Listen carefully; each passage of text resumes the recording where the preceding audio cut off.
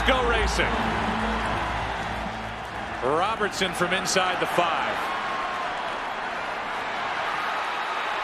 He's returning kicks now with Rod Smart deactivated, and not returning kicks for the second weekend in a row. Nathan Jones on the stop, 24-yard return.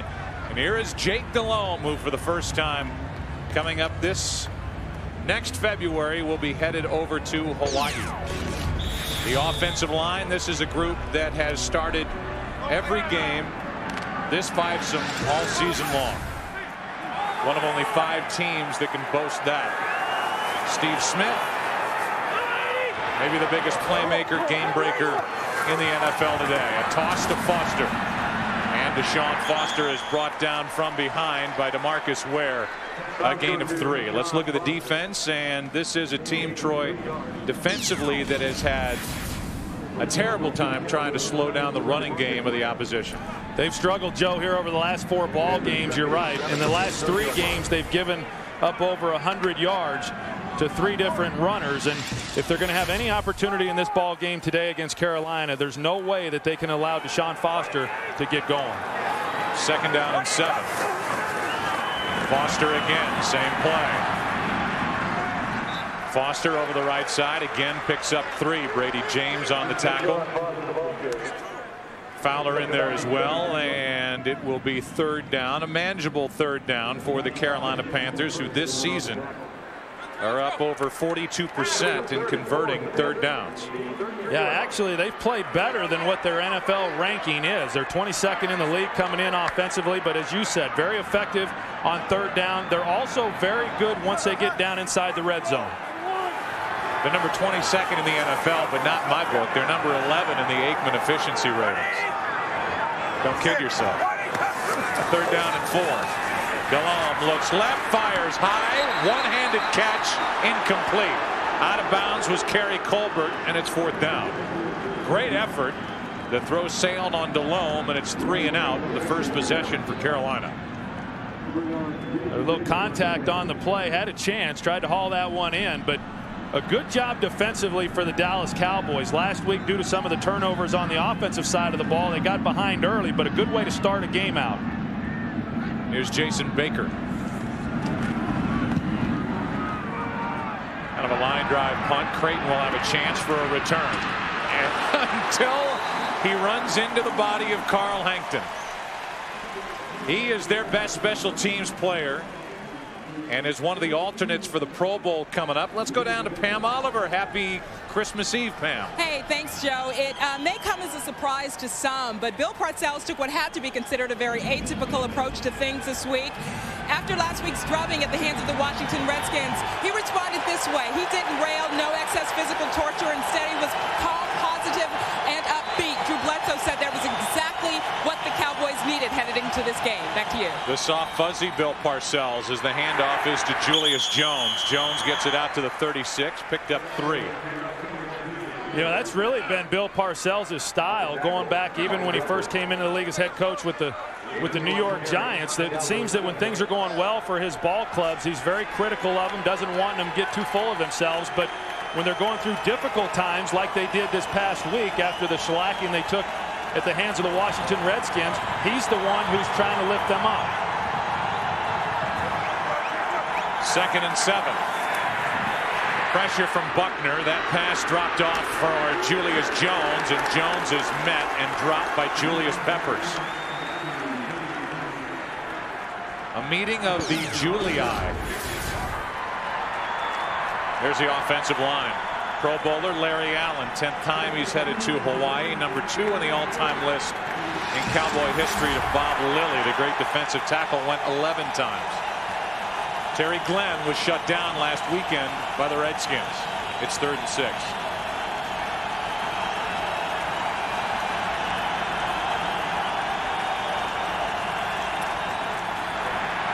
Passes through the hands of Crayton, and then Crayton gets popped by McCree. Three and out for the Cowboys.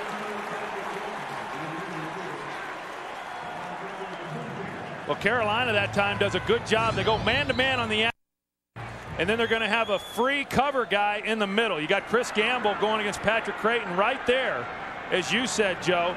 on the hit, that ball, if it's led in front of Crayton, would have been a real headache because a good coverage and a good call defensively. Matt McBriar drills it over the head of Steve Smith, but into the end zone. So the Panthers will have it at their 20. That guy's name was Phil that was holding that sign up.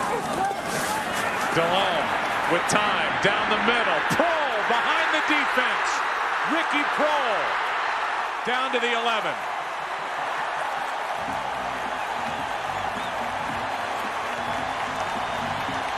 Well, I'll tell you what, Joe, the Carolina Panthers like the vertical passing game, and in order to pull that off, you've got to have awfully good protection up front because you're going to see Jake Delhomme hold it, and he steps up in the pocket a couple of times, which gives Ricky Proehl time to get up the seam, and how he's able to just run right through the side of that zone coverage with nobody going with him. That's something that has given this Dallas Cowboys defense some problems.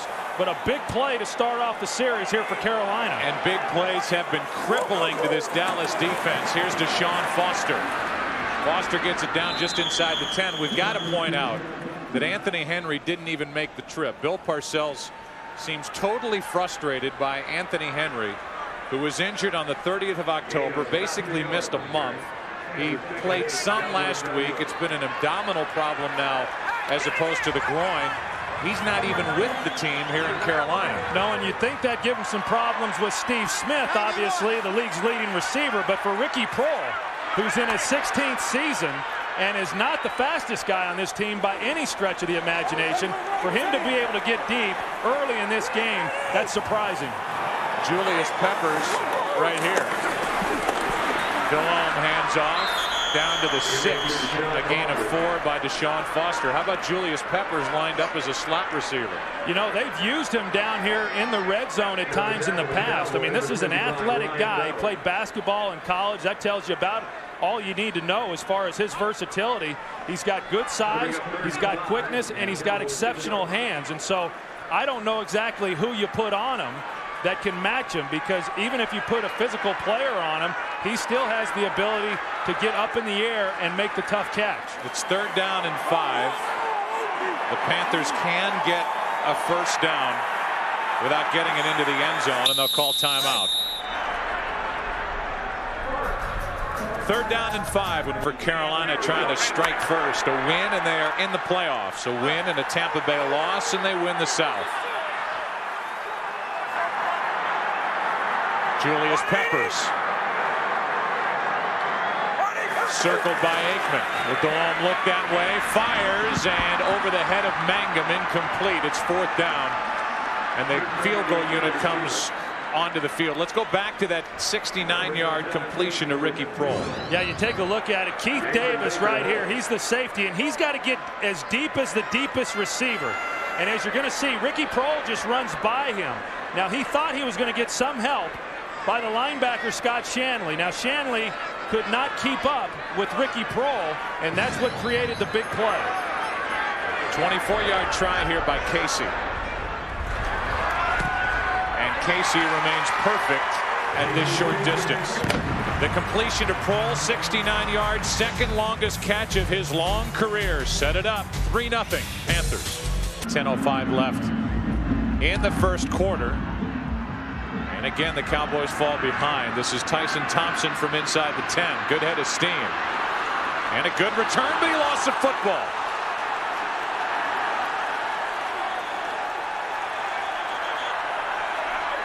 And now the scrum to see who came away with it. Look for a second like Thompson had a shot to get it back. But this could be a killer turnover for the Cowboys after the Carolina Panthers just got on top. And it looked initially to me, Joe, that when Thompson did fumble, that it was Carolina who was able to get in there first. Obviously, at the bottom of the pile right now, what usually happens, whoever comes away with it, regardless of who initially had it, and it looks like it's going to be Carolina's ball.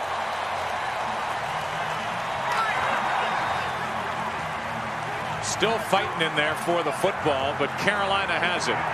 Tyson Thompson, the rookie, from Irving, Texas, puts it on the ground. Well, and this is a concern for Bill Parcells, and that's one of the reasons why Tyson Thompson has not played more as a running back within the offense. He's uncertain that he can depend on him. Well, this is why. When you get an opportunity to get the ball to your offense in good field position and then you lay it on the ground and now you give the ball right back to Carolina with a chance to get more points. Kemp Rasmussen made the hit to force a Tufts came away with the ball for Carolina. We saw that score flash across. Washington has an early 7 to nothing lead. Here's Carter. Touchdown. First of his career.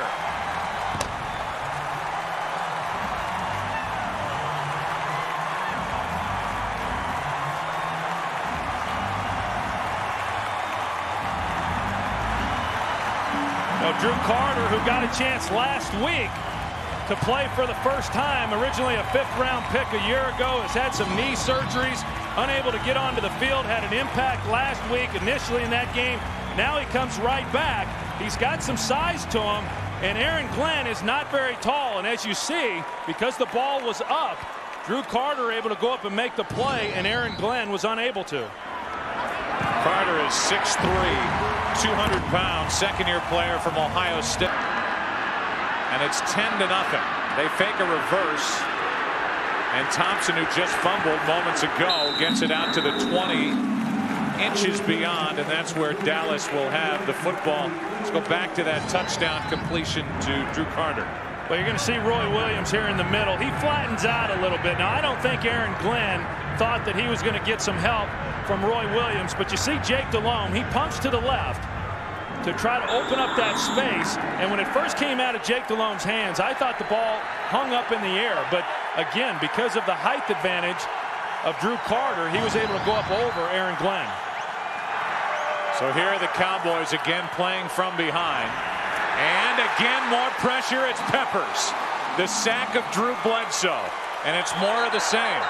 Troy, this is a team now that's playing from behind. Their tackles aren't playing well. They're not able to run the ball. An immobile quarterback.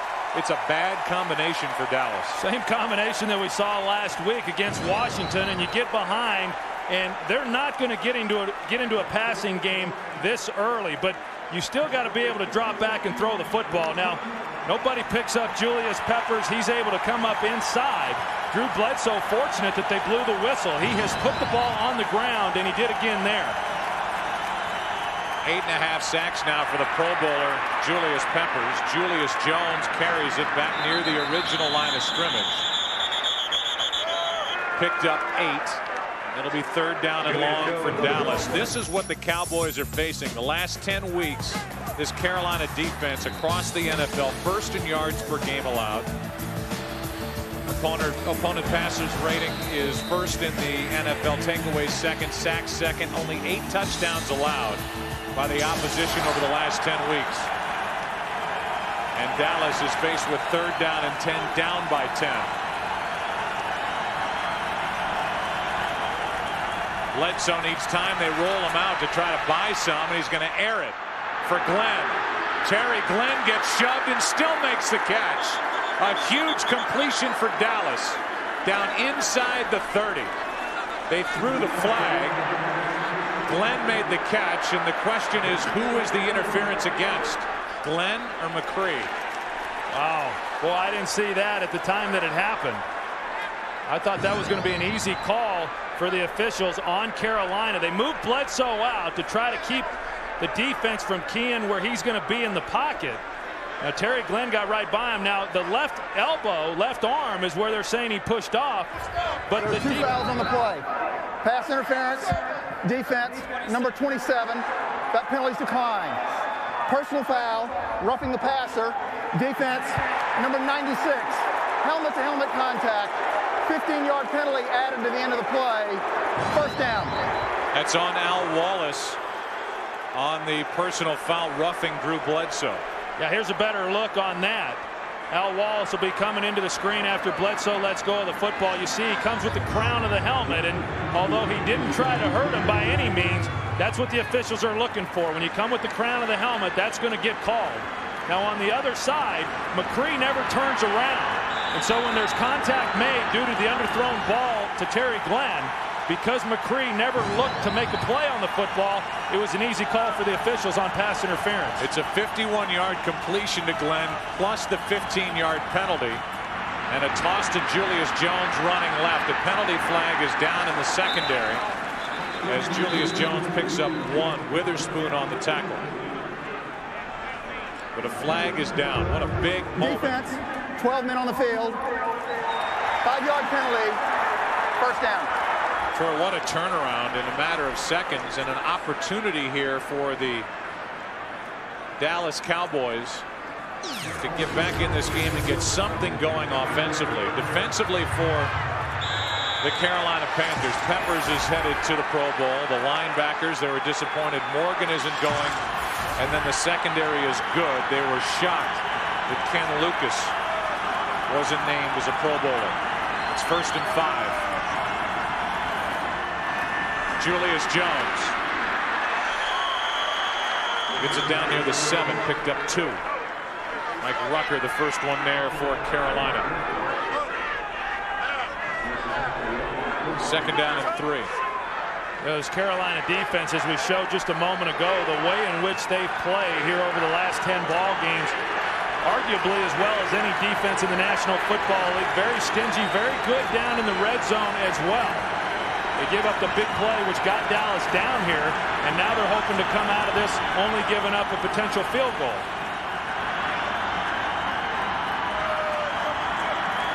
It's a blitz. Second down and three. Julius Jones. Touchdown Dallas.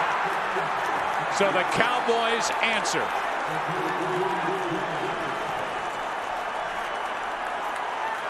You know, Joe Julius Jones, they've been trying to get him on track for pretty much the entire season. Last week, he was able to get a 51-yard run, which certainly helped with his confidence. But he makes a move here that he really has not shown much of here in the last several weeks. He started to the outside and was able to burst through the hole and get into the end zone. I think that's something that's been lacking, some attributed to the high ankle sprain that he suffered during the middle of the year. It's a three-point game for Dallas. And any one of their running backs, their first rushing touchdown since November 20th against the Lions. Julius Jones gets it. The Cowboys are back in it. John Bond. Kasay field goal is the difference 10-7. Julius Jones caps it after that big 51-yard completion to Terry Glenn. Cundiff really got into this one. And Robertson will take a knee.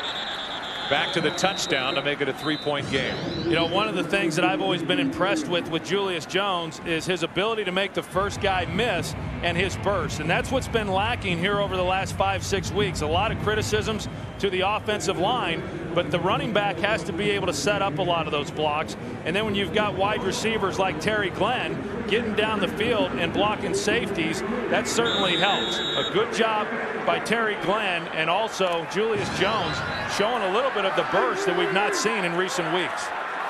Game break coming up. First down for Carolina from their 20. Deshaun Foster runs into a wall. Lost a yard. Let's go for a game break. Here's JB. Hey, Joe, opening drive for the Redskins, Mark Brunell hooking up with Santana Moss, the Pro Bowler, 17 yards, wide receiver screen. He takes it in, 7-3, skins. Atlanta, playoff hopes hanging by a thread. Michael Vick, play action, four-yarder to Justin Griffith. 7-0 Falcons over Tampa Bay back to Joe Buck. Thank you, JB. Again, if Carolina wins today and Tampa Bay loses, the Panthers win the NFC South. Second down and 11. Delhomme with all day throws high and it's incomplete.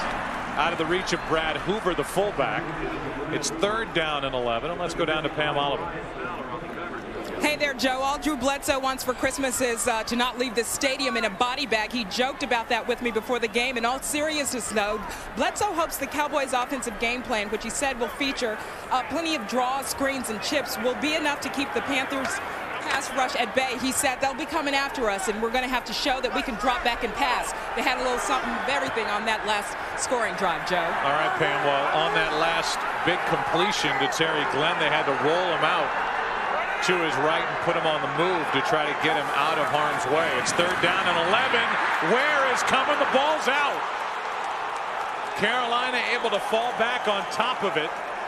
Jordan Gross comes away with a football, but a punt is coming, and Demarcus Ware, the rookie, comes up with a big play for the Dallas defense. Well, they've been wanting to get Demarcus Ware back on track for a number of weeks. He came into the league really on fire. Four sacks first six weeks of the season. Hadn't done much since, but so far early in this game, doing a good job getting pressure on Jake Delhomme, and what a heck of a job by right tackle Jordan Gross recovering the fumble. So the punt from Baker. Crayton waits for it, takes it at his own 39, and goes nowhere. A penalty flag comes in. Just a two-yard return. Vinny Ciurciu on the tackle for Carolina. The flag is down on that brief return. During return, illegal block in the back, receiving team, number 58. 10-yard penalty, first down. I tell you, Bill Parcells, he, he obviously isn't happy right now with the kickoff return team when Tyson Thompson puts the ball on the ground. And now the punt return team, when it looks like they're going to get the ball at midfield, all of a sudden they have a penalty that backs them up. And, you know, you get into this type of game with playoff implications on the line. And certainly if the Cowboys are going to get into the playoffs, so often those games are determined based on who has the better field position. Look at the Giants on top of the Redskins 10-7. Toss to Julius Jones, another big run. Jones is out near midfield. And they'll mark him at the 50, a 19-yard run for Julius Jones, who was getting some traction. Pretty good job there by this offensive line coming and doing the kick out. They're going to run some people on the pull. You see there that opens up that hole. And I tell you, Julius Jones, I'm sure he's gotten tired of hearing Bill Parcells talking about his ineffectiveness as a runner. And so far in this ball game, he, he has looked like he's as healthy as he's been in a while. Look at that move. This is vintage 2004 Julius Jones.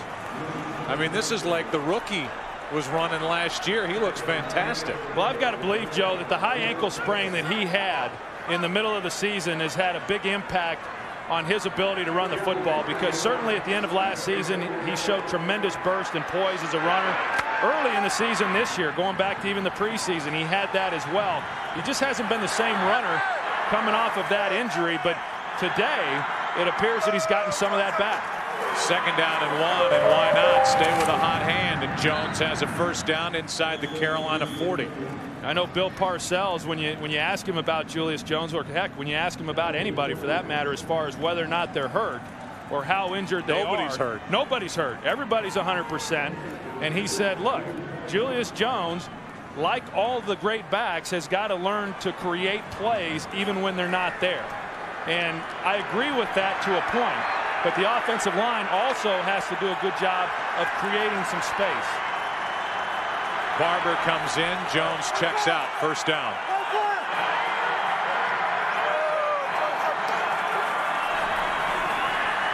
Bledsoe with some time. Fires too high and it's intercepted. Looking for Terry Glenn and it's Lucas who comes away with a pick.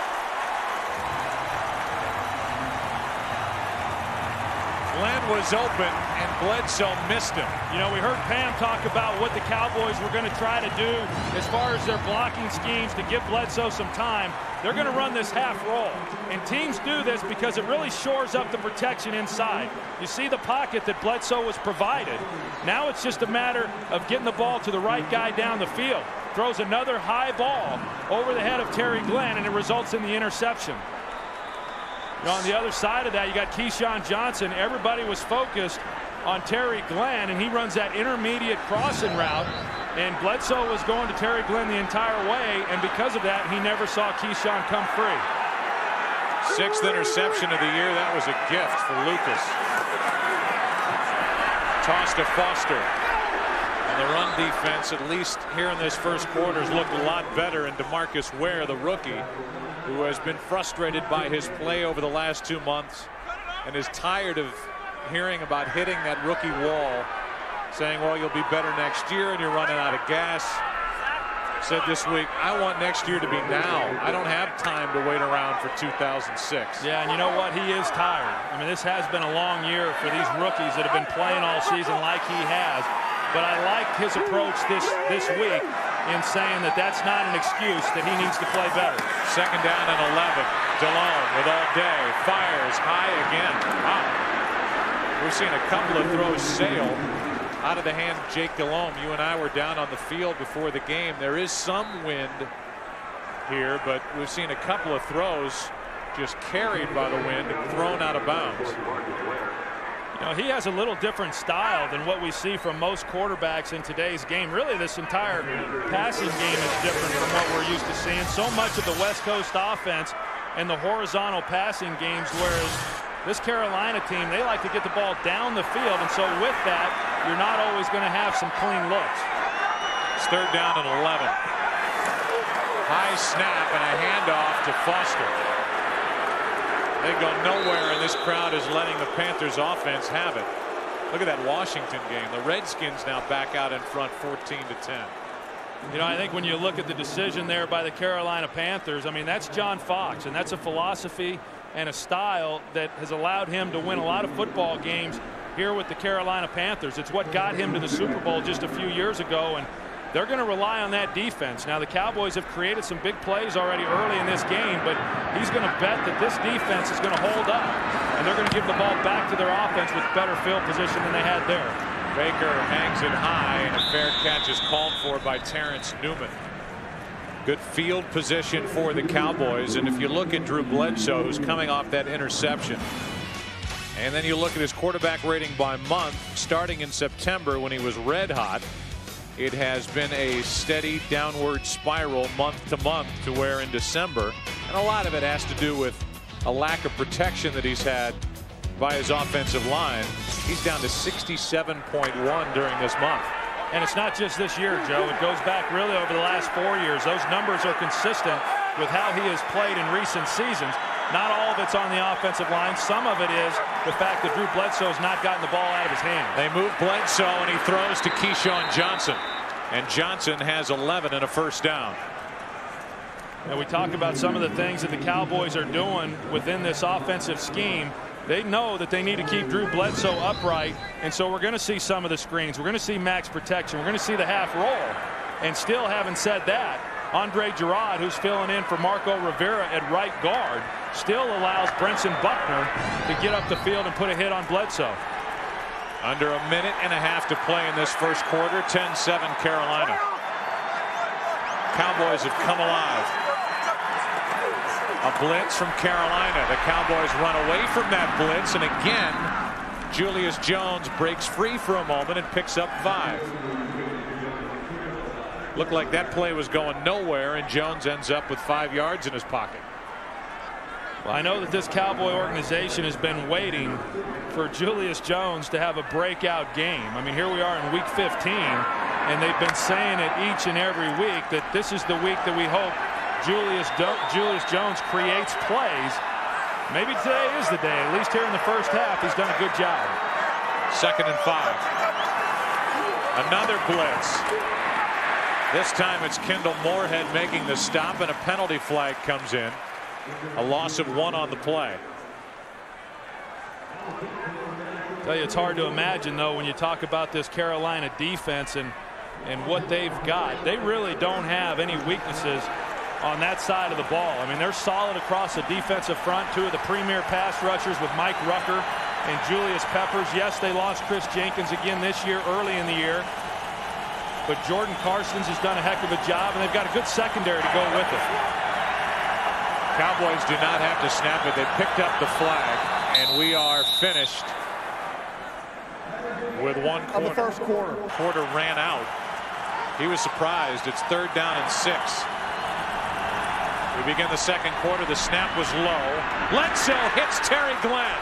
And Glenn's got a first down inside the 30, down to the 26. A 20-yard completion, and that time a perfect throw from Drew Bledsoe after getting a bad snap from Al Johnson. Cowboys do a pretty good job. They bring three receivers to the short side of the field. They run Crayton on a drag shallow, and then they're able to get Terry Glenn up in the void that was created because of the fact that Crayton ran the short drag. And that was the weakness of that defense, well executed by the Dallas Cowboy offense. They work on Terry Glenn over on the sideline after that 20-yard catch. Here's Julius Jones. He has got a burst today. He's down to the 21, picks up five, and let's go down to Pam Oliver. Hey, Joe, Tutan Reyes has been getting some medical attention from the trainers on the sideline. In fact, he missed the Panthers' last offensive series. The diagnosis on him so far is a sprained left toe. Meanwhile, linebacker Dan Morgan has gone back into the locker room for evaluation. They're saying he has an injured shoulder. Back to you. All right, Pam. Meanwhile, the Cowboys are moving the ball. Second down and five. Glenn looking at his right hand or wrist on the sideline. Another blitz from Carolina. Julius Jones down to the 14-yard line, gets seven and another first down for Dallas. You and I did the game last week. We've done, I don't know, four or five Cowboy games all year.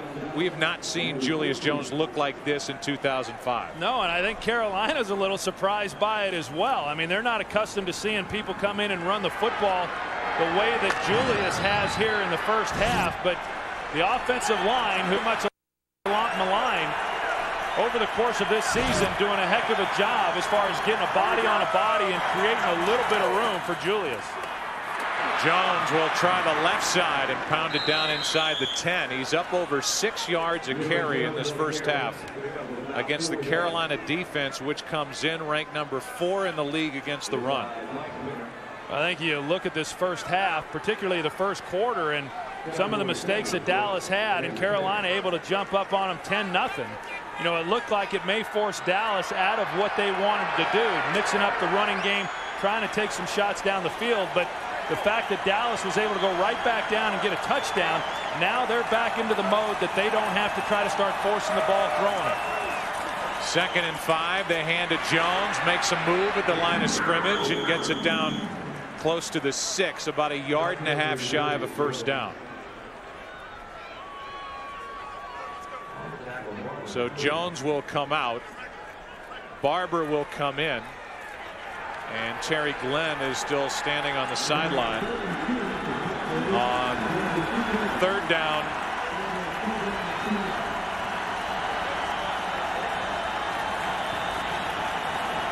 Two and a half. We'll call it three for Dallas. Handoff is to Barber. Barber ran into Chris Draft, picked up one, and it's fourth down. Well, that was a heck of a job by Chris Draft stepping up into the hole and preventing the first down. You see him scraping off the side here. And the fullback, Polite, just runs right by him. And because of that, Chris Draft is able to come in behind that block and make the tackle and keep the Cowboys from picking up the first down. 24-yard try here from Cundiff to tie it.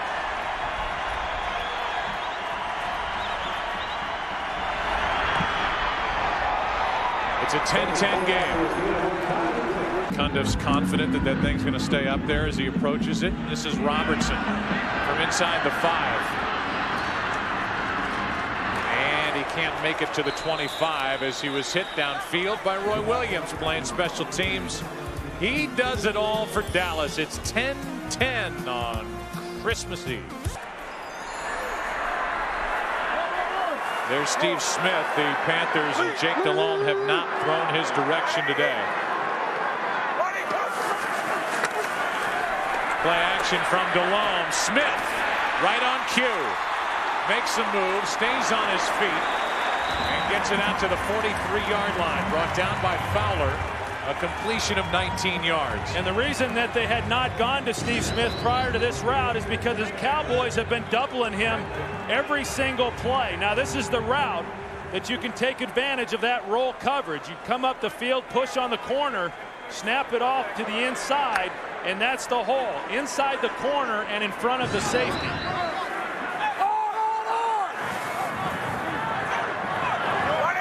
The NFL in catches, yards, number two in touchdowns to Marvin Harrison, not active today for Indy up in Seattle. Handoff is to Foster, picks up five. Now the Panthers are moving it, and here's JB with a game break.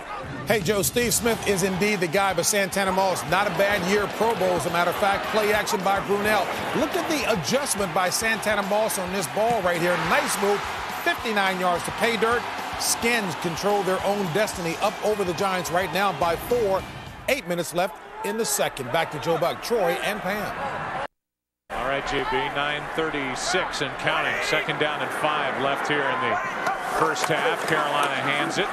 Foster runs into DeMarcus Ware. He's shown up big already in this first half. A gain of only one. It's third down for the Panthers.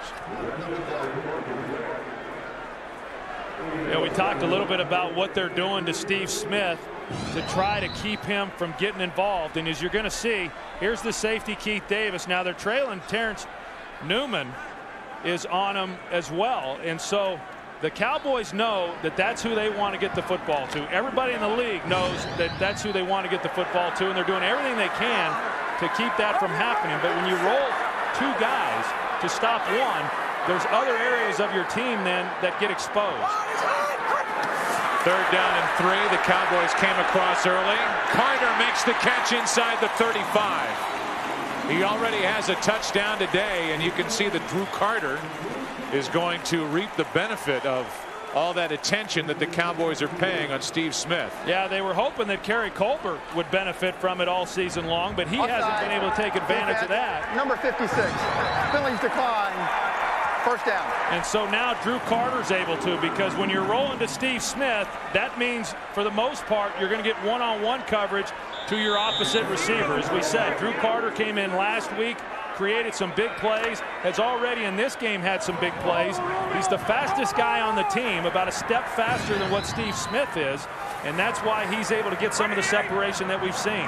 That one good for 18 yards. First down, a toss to Deshaun Foster.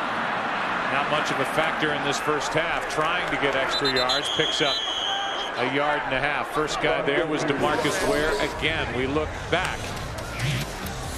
And we highlight the play of this defense and the two safeties. First, Keith Davis on the completion of Proehl. Then Roy Williams on the touchdown throw to Drew Carter. That's the Carolina touchdown for Dallas. They're happy to get one from Julius Jones, who's had a very good first half. It's a 10-10 game. But now Carolina with the ball inside the Dallas 32, second and eight.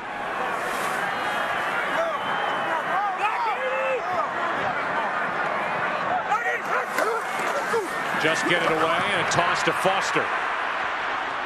Deshaun Foster ran away from Greg Ellis who had an early shot at him, picked up two as Bradie James eventually made the stop. Ellis had a free shot and whiffed. You know, Deshaun Foster, this is a great opportunity for him. You know, he came into the league and in his first season, he blew out his knee, and a lot of people weren't certain that he was even going to come back from that injury and play again, and that's when they picked up Stephen Davis. And he's been playing in the shadow of Stephen Davis ever since. Well, Stephen Davis, now that he's on IR, this is not so much an opportunity for Foster to show that he can play in this league. It's a chance for him to show that he can be the every down back because injuries have limited his career. Third down and six. Delhomme fires looking for the end zone and overthrows his receiver Carter. So to this point, Jake Delhomme has looked more in Drew Carter's direction than he has Steve Smith. This time he overthrows him. And it's fourth down. Yeah, and that's the time that maybe he should have been looking for Steve Smith. And, you know, again, he's got two guys covering him, but when you run that deep cross, he got to the middle of the field, and when you're going to roll, that's the weakness. And Steve Smith was able to get into it, you know, and Jake Delhomme told us that whenever Steve Smith is singled, I'm throwing him the football. Well, right now, the mindset for Jake is that he's getting doubled, and so he's looking elsewhere. But just because two guys are on him, it doesn't mean that he can't get open. 47-yard try from Kasay is good. On the Carolina defense. Last three times they've had it. He's already fumbled once today. This is Tyson Thompson. He gets hit after crossing the 20. And we've seen already as the Cowboys have the ball go back on offense the different things that Dallas will try to do to buy Drew Bledsoe time to get the ball down the field. And so far in the first half, a lot of it's worked. Yeah, it really has. I mean, they've done a good job. They're they're moving them around outside the pocket a little bit. They're trying to get the ball out quick. They're keeping guys in to max protect. That's really the key. And the other real key that's helped them, as I said, they got down 10 points and they were able to get back into the ball game to where now they can they can stick with what they came into the game wanting to do, and that's be balanced. Terry Glenn is back on the field. Bledsoe fires, and for the first time, his big tight end Jason Witten is on the receiving end. Nine and a half yard completion to Witten. And Jason is just short of a first down. You know, and I think when you talk about Jason Witten in the season that he's had, he really started the year out very well. He's an excellent tight end, one of those athletic guys that can really run. But when Flozell Adams got hurt at left tackle, it really changed the complexion of Jason Witten's game. Maybe cost him a berth in the Pro Bowl because then he became a blocker. Second down and one, and Julius Jones appears to have enough for a first down. He does. You know, everybody knows Bill Parcells' public side and what he does in press conferences, and he likes to spar with the media, and he can be rough on guys, and you know what he says to players when they come off to the sideline after making a mistake. But he has also gone out of his way to baby in a way, not in a bad way, but a good way, Julius Jones. He told us, he said, look, I've got to start him. I've got to keep his confidence up, and I've got to put him in a position where he knows I'm still behind him. And some of that babying and staying in his corner is paying off today as Jones crosses the 35 out to the 36 because he looks like a different back here against Carolina. Yeah, I think Bill Parcells, I mean, he tries to know what each player needs in terms of trying to motivate them. And, you know, in his opinion, Julius Jones is a guy who's struggling right now. A lot of people have been critical of, of his season and him not running the football particularly well. And, and Bill Parcells is trying to build him up. I mean, Bill Parcells is certainly frustrated that they haven't run the ball better, but he knows being critical or being tough on Julius isn't the right approach with him. Second down and seven. Bledsoe throws and the pass broken up. That was Witherspoon who knocked it away from Keyshawn Johnson. Third and seven.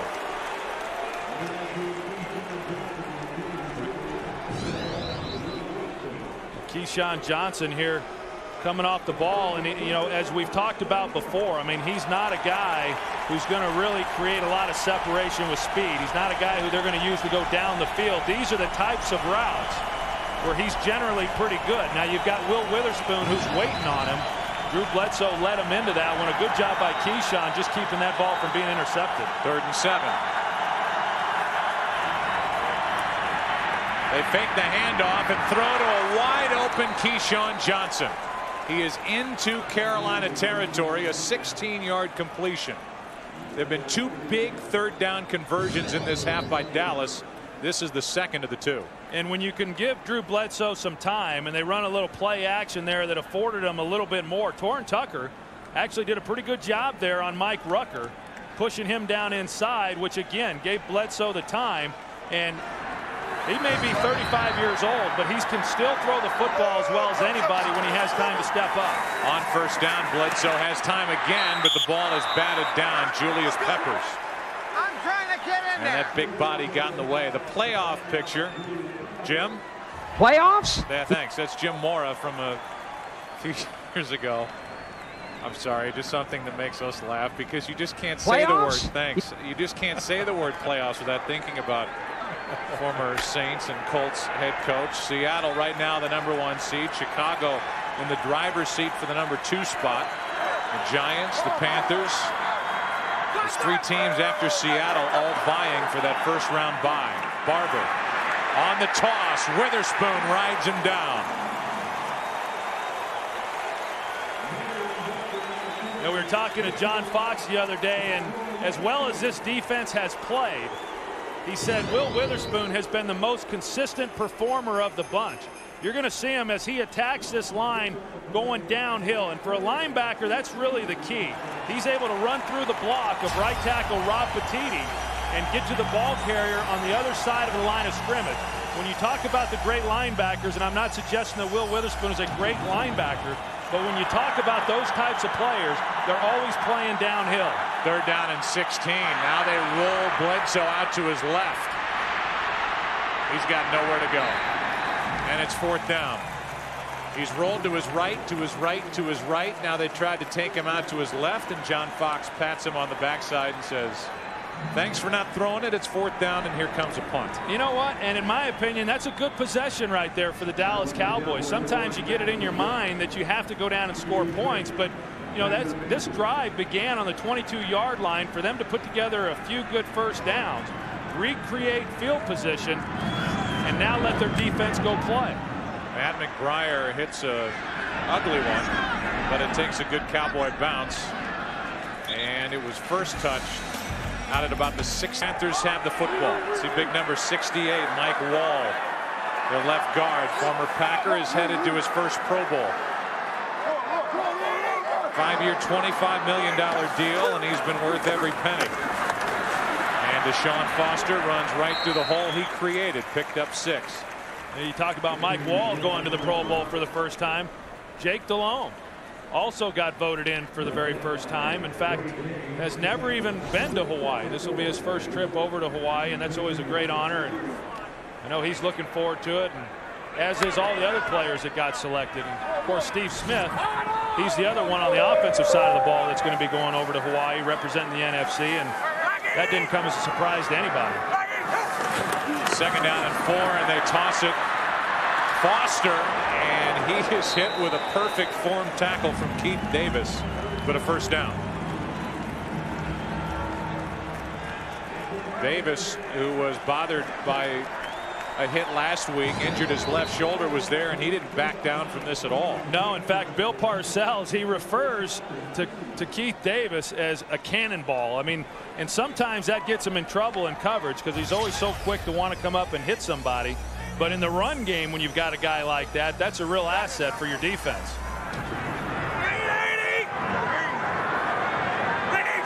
Approaching the two-minute warning. Delhomme keeps it, throws it over the middle.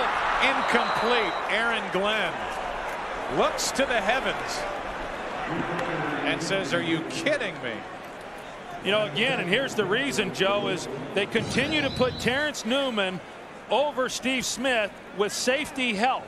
And here's the safety here. And so they don't want to try to force anything into Steve Smith. And so then the weakness is trying to get the ball down the middle. Now, if you're going to get the ball down the middle and you've got a defender trailing, you've got to put a little bit of air under it. And that was an opportunity for an interception for Dallas. That is some Christmas Eve angst on the part of Aaron Glenn, who has four interceptions this season. Second and 10. Delhomme just got away with one to the sideline and incomplete for Carter. Hit by Jacques Reeves, who's getting better and better.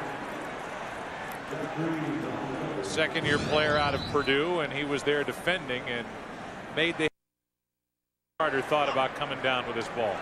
And Jacques Reeves, he's playing because of the injury to, to Anthony Henry, who did not make the trip. Jake Delhomme a little late on that throw. If he's able to get it down, then Drew Carter's able to run through the ball on his way to the sideline. It's third down and 10. 2.04 left. Play action. Delhomme under pressure underneath. Hits Goings and Nick Goings still going. First down. Got out of the tackle of Aaron Glenn and gets a big first down for Carolina. Glenn had him, couldn't bring him down. And Carolina at the two-minute warning gets a big first down. The ticker will keep you updated with up to the second stats. First down with a minute 50 left in this first half. Carolina two timeouts left. All day for Delhomme and Hoover downfield. First down Carolina just outside the Dallas 40. You know, you take a look at the last play with Steve Smith. He's running. They put him in motion in order to try to avoid the jam. As you can see, two guys still are with him. But look at what he does at the end of that play to free Hoover.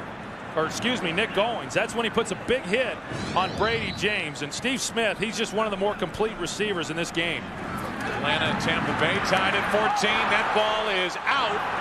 They're ruling it a fumble, and the Dallas Cowboys have it knocked out by DeMarcus Ware. And Ware has had an all-world first half. The rookie has played brilliantly here in the first half in Carolina. Well, he certainly has, Joe. I mean, Julius Jones and DeMarcus Ware, guys that have been struggling for the Dallas Cowboys, and that ball was out. Jake Delhomme trying to make the throw. And the question becomes, is his arm moving forward with the ball in his hand? And in my opinion, it did not, and this is going to be under booth review.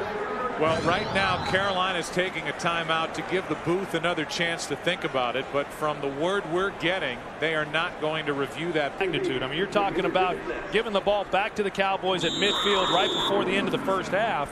I don't know how you don't at least take a look at it to be sure, even though when it happened and the right call was made. Delhomme was pleading for a review. There is no review. A minute 10 left in the half, and Dallas with all three of their timeouts remaining. So they can hand off if they wish, and they do to Jones. Julius picks up only two. So Dallas now they're going into their no huddle mode and trying to come away with some points of their own at least an opportunity to maybe tie this ball game up. Penalty flag on the play. Bledsoe goes down. There was movement from Torrin Tucker but across from him one of the defenders from Offside. Panthers Defense. Number 93. Five yard penalty second down. It was Rucker who came across early. It was Rucker who brought down Bledsoe, but you're going to see some movement by Torrin Tucker as well. Yeah, he starts leaning back on his heels, and that's what that's what'll happen when you're going up against a pass rusher with the ability of a guy like Mike Rucker and and a great pass rusher. One of the reasons why Mike Rucker is such a great pass rusher is those are the things that he's keyed on. As soon as a defense or an offensive tackle starts to move at all, he's firing off the ball. Well, that's a bad call. And a good break for Dallas. Jones has a first down as he gets it to the 44. And Dallas will spend a timeout. 39 seconds left. And Dallas has two timeouts remaining. But what a turnaround that was on that call just because it wiped away a sack. Gave Dallas Tampa Bay it's like a comedian waiting for the rim shot, you know. Pass is complete. That's Keyshawn Johnson. And Johnson makes a move out of bounds at the 25 yard line. The Cowboys are well within Cundiff's range for a field goal. And now they have loftier ambitions trying to take their first lead of the day. Boy, we've seen some bad tackling. We've seen it both from the Dallas Cowboys when they were trying to tackle Goings. And now we see it from Ken Lucas. If you're going to be one on one, you've got to drive through the receiver, and he was unable to do that. And so Keyshawn now was able to pick up extra yards and immediately put his team in field goal range. 33 seconds left.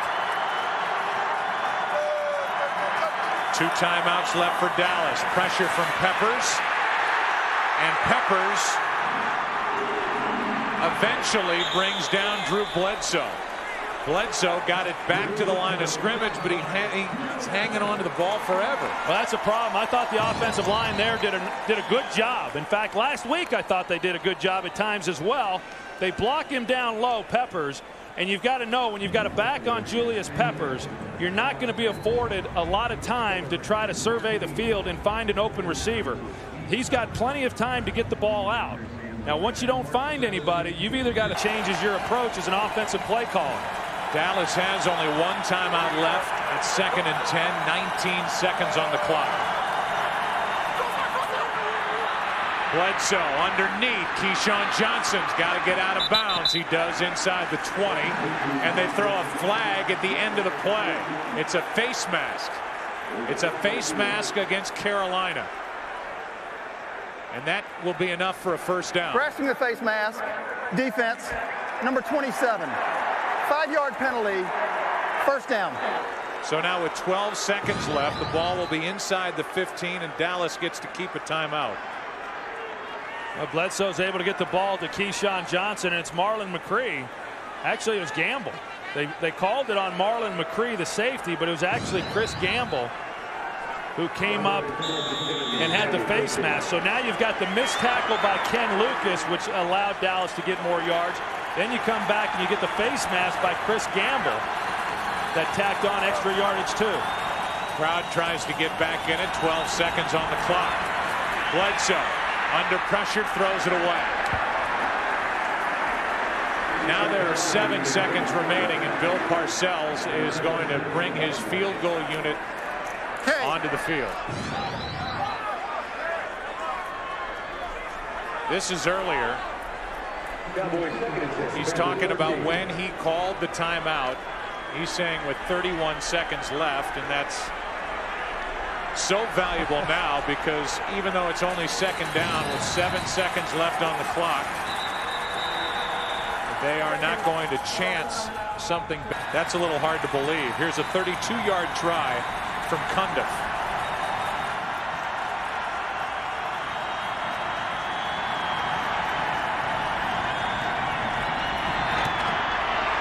No good. Cundiff's troubles continue. The turnover forced by the rookie DeMarcus Ware. Setting up that chance and after watching last weekend Keyshawn Johnson screaming at Cundiff in Washington. Here's Cundiff hitting a knuckleball and missing from 32 yards out and it's still Carolina up by three. You know, take a look and just see whether or not the snap was very good and, and what about the hold. Snaps perfect, holds down, laces away, and he just yanked it. You know, I thought maybe he slipped with his plant foot, but that didn't appear to be the case either. You know, I think the ball might have been tipped right in the interior part of the line. It might have been Julius Peppers, his right hand. You see the left hand higher than the right, but I believe Peppers got his right hand on that kick. Let's watch again. Peppers in the middle of the defensive line. Look at his right hand. Off his fingertips. Kick no good. Carolina assuring themselves a spot in the playoffs. And on the other side, if they can get a win and Tampa Bay loses today for the second time in the last three years, they will win the NFC South. Good return by Thompson of 31 yards. And let's check in with Pam Oliver. Hey, Joe, Bill Parcells laments a couple of things from his teams. The plays that got away, the plays they failed to make, the fumble and the missed field goal. He said we should be winning this game, but since we're not, we're about to see what we are made of. As for the Carolina Panthers, John Fox is preaching one thing for the second half, consistency on both sides of the ball. Back to you. All right, Pam, thank you. From their own 36, that's where the Cowboys begin. Down by three.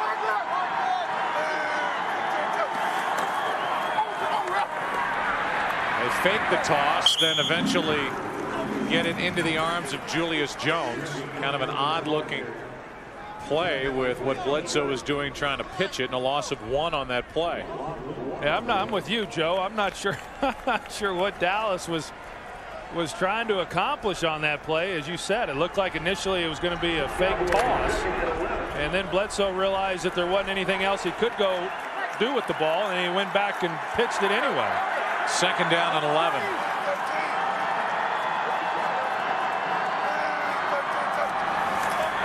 And pressure. Bledsoe lost the ball. And the Carolina Panthers fighting for it at the bottom of the pile, but Dallas keeps it. Terry McAulay indicates that Dallas keeps it and a problem with the center quarterback exchange. A ton of pressure by Buckner on that play. Well, you think back to last week against Washington, the first possession of the second half, they fumbled. And now all of a sudden, the first possession of this half, and they don't get the quarterback center exchange. And the Cowboys were fortunate just to get back on it. Brings up third down and 12.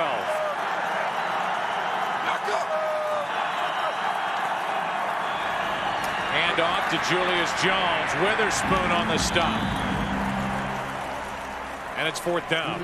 And what we've seen both from Bill Parcells as well as John Fox and Dan Henning, the offensive coordinator for the Carolina Panthers, very conservative today in third and long because they know that they're going up against good defensive teams. And the fact that they have good defenses themselves, they don't want to start trying to throw the football at third and 13, third and 15 and create something bad. A punt in today's game is a good play. Matt McBriar hits another ugly punt. Unless you punt it like that takes a great Dallas roll, and it's going to be tapped.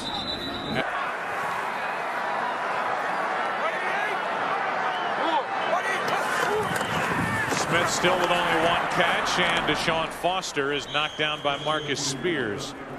A gain of three.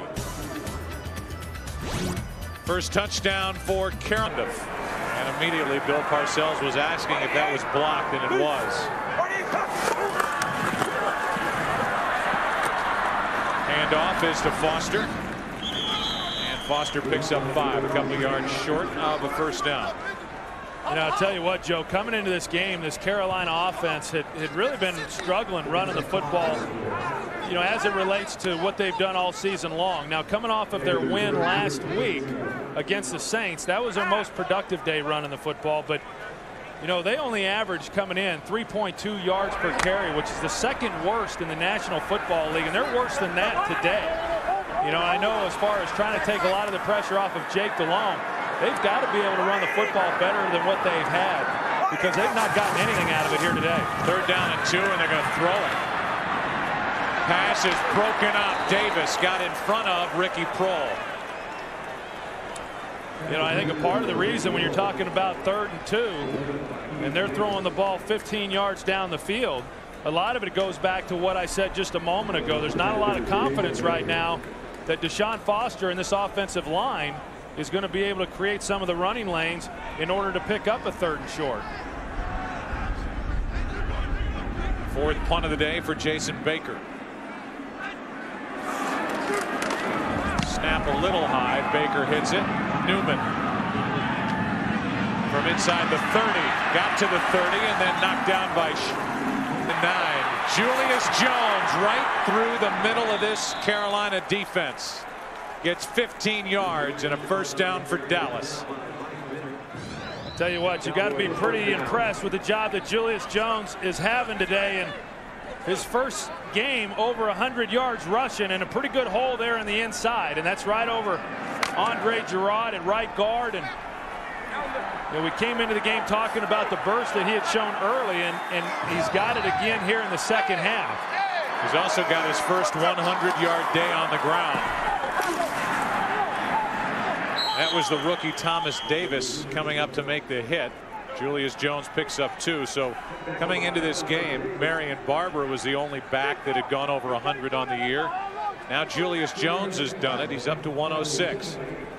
You know, this offensive line, when when things are not going well, and certainly they've been heavily criticized. And you know, we talked about Marco Rivera not being in, and and yet for them to come into this game against this opponent defensively in Carolina and be able to run the football in which they have, that's pretty impressive.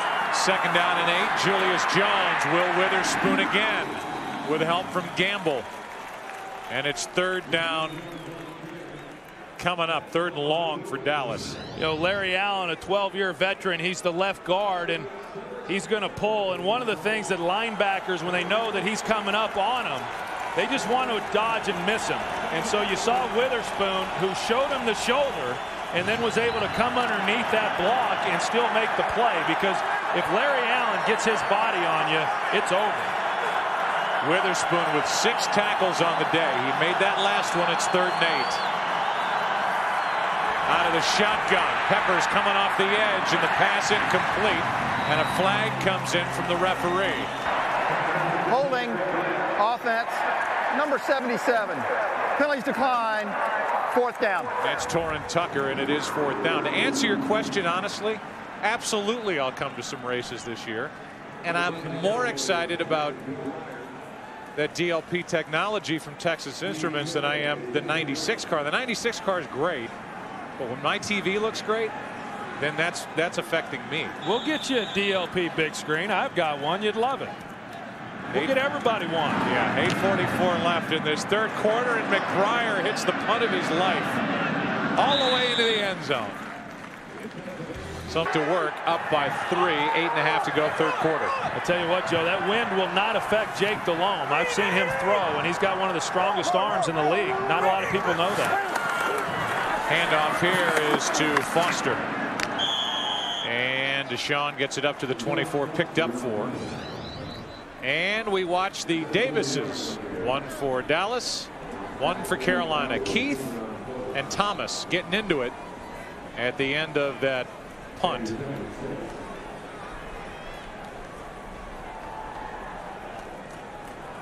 Case Steve Smith wanted to get in on the fun, Roy Williams made Steve think better of it. Happy holiday. Second and six. Flea flicker. Here's your big arm down the middle and the pass. Incomplete. Good coverage on Steve Smith. It was Terrence Newman who's been busy and in the pocket of Smith since this day began down there for Dallas. Well, he's been in his pocket, but he's also been consistently getting safety help. I mean, every single play, whether it's a running down or a passing down, Dallas has had two defenders. Now they try to go with the flea flicker and hopefully open up Steve Smith, but ball's a little bit late on the throw, and, and quite honestly, not not a lot of room there to get the ball in. Now Nick Goings is the tailback. There's Smith at the bottom of your screen. Delhomme on third down, going for Carter, and it's broken up, covered downfield by Jacques Reeves. Reeves, who has taken Offense, the place. Number 76. Penalties decline. Fourth down. There was a hold back at the front end of the play, but on the back end, it's Reeves making the play, playing in place of the injured Anthony Henry. Well, I thought earlier that Drew Carter did a good job of going up for the football. Here, you can't leave your arms down when you've got a height advantage on somebody. If you leave your feet and go up and catch the ball at the highest point, that's one that Drew Carter brings in. Now, he hasn't played a lot of football. That's something he'll learn. Fair catch called for by Newman, and he muffs it. Penalty flag is down on the play, and Dallas still has the football.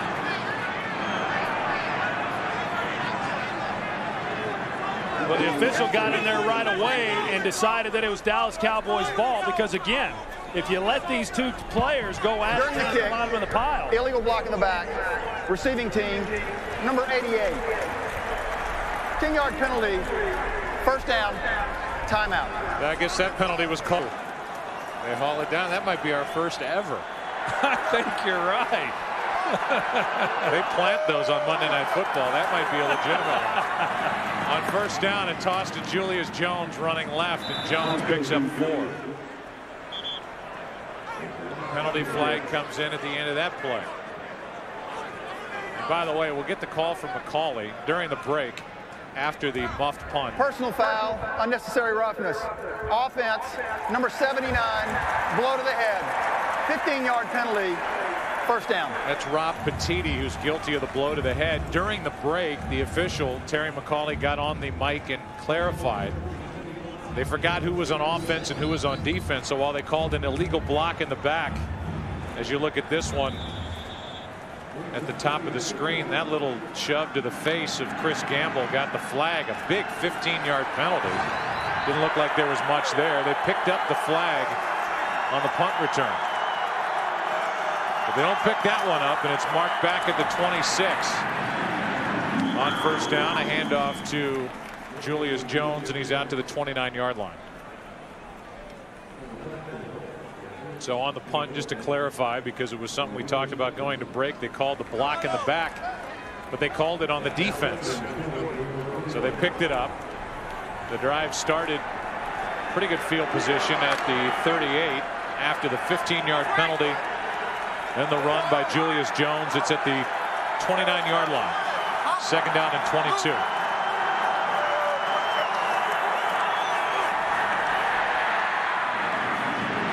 Off on a screen to Julius Jones. We haven't seen that much today, and Jones is wrestled out of bounds by Marlon McCree after he picked up 13 yards. Well, again, that's just another way for Dallas to try to neutralize this pass rush of the Carolina Panthers. And, you know, here you are at second and long, go with a screenplay, and it was set up very, very well. You've got three blockers out in front. You got Larry Allen and then Andre Gurode comes in late. Al Johnson doing a good job kicking out. And now all of a sudden you go from second and long to third and a manageable distance. Third and five.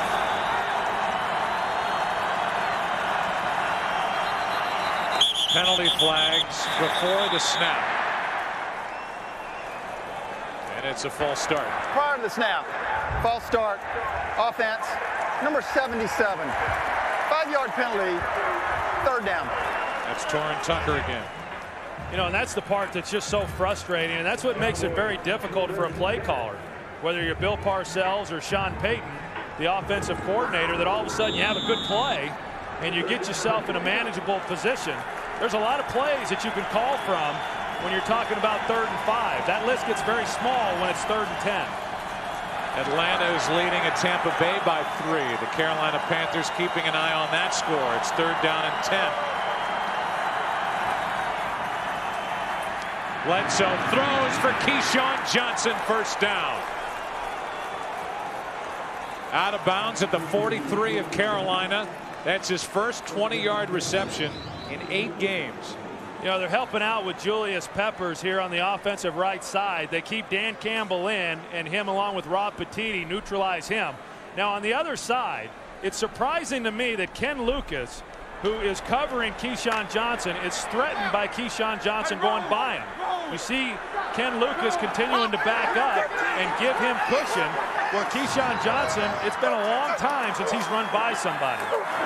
Handoff is to Julius Jones. Jones looking for the end zone. Dives. Touchdown.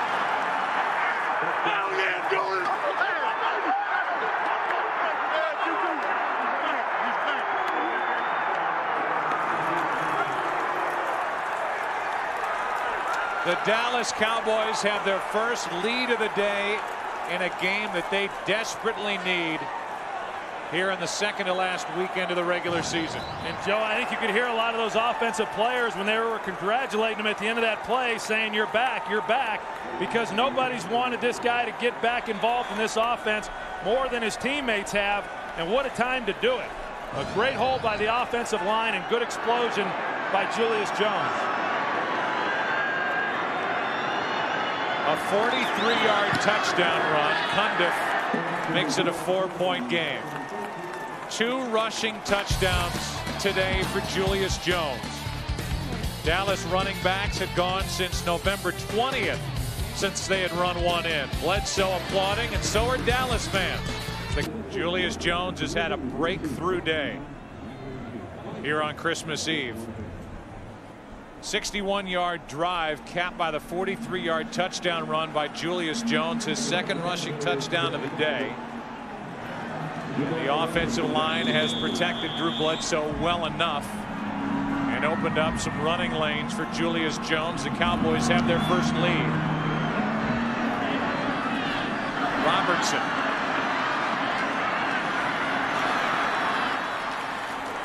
Out to the 28. Back to the touchdown run by Julius Jones as another fight breaks out on the field after that kickoff return. But it's a good job up front of getting some push. We saw Al Johnson, the center, collapse the pocket interior-wise. That gave Julius Jones some room to run. And you know, Keyshawn Johnson, who also had a key reception on that drive. I tell you, this Dallas team offensively is where they've had most of their problems. If they're able to get Julius Jones going and he can continue to run the football the way he is today, this team, if they are able to get into the playoffs, could pose some problems. 4.44 left in the third quarter. Carolina playing from behind for the first time today. Pass is to the tight end Mangum. Stays in bounds and gets into Dallas territory. Knocked out by Bradie James after a catch and run of 24 yards. And Jake Delhomme, he was trying to go down the field to Drew Carter. Again, this is the speed guy, and he runs right by Roy Williams, but there was enough there with Aaron Glenn that Delhomme did not take a chance. Now he comes underneath to Kris Mangum, and so many times you think that these receivers are just going to run out of bounds. Bradie James thought that, thought that he could just knock him out. Mangum makes him miss and is able to get more yardage handoff is to Deshaun Foster down inside the 45, very close to the 43, picked up four. Greg Ellis on the tackle. Under four minutes to play in the third quarter. You know, it's interesting as you look at Carolina offensively and, and how they're trying to move the football. Of course, they're trying to run the ball, which is what they always do. They're not running it particularly well, which is not a real big surprise. But then in the past, they've been able to at least come to Steve Smith and get him going. Well, today he's got the one reception when he ran that in route. But since then, they've gone to him a couple more times. They've just been unable to free him up because of the coverage by Dallas. Panthers just get it away, and the pass is to Colbert. Lost the football, incomplete. Incomplete pass.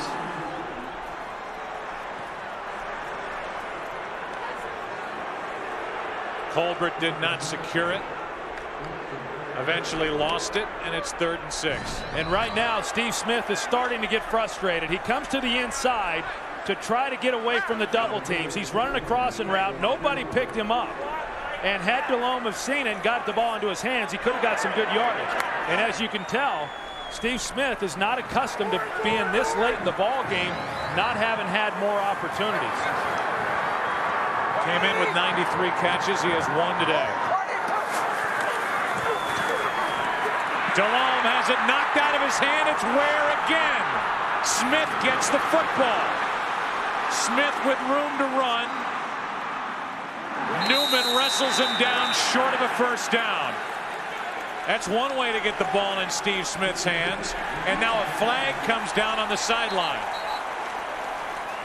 Cowboys are indicating it's against Steve Smith for his reaction at the end of that play.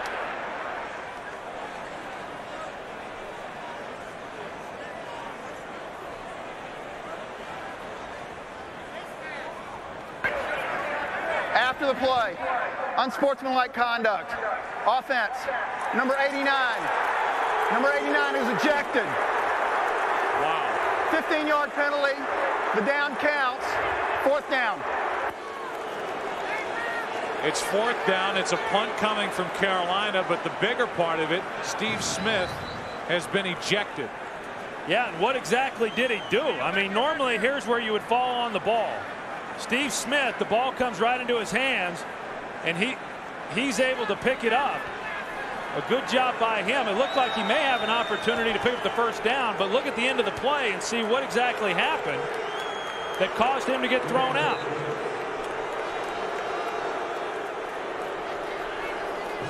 Well, it obviously happened after that. We've got to cover the punt. And if we can on the sideline, he went up to the line judge. And by grabbing him around the waist and saying something. I tell you, that, I don't agree with that. Now, you're not supposed to grab an official, but he's not grabbing him in a very violent way. He's just trying to get his attention. Question is, what did he say? And according to that official, it was violent enough. A punt ends up in the end zone. So Steve Smith has been ejected. That's the headline at the end of that last drive by Carolina. Two minutes 51 seconds left in this third quarter. First of all, the tackle by Newman.